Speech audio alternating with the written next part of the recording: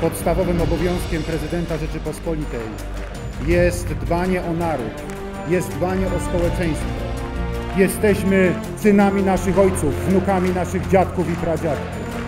To oni odbudowali Polskę ze zgliszcz.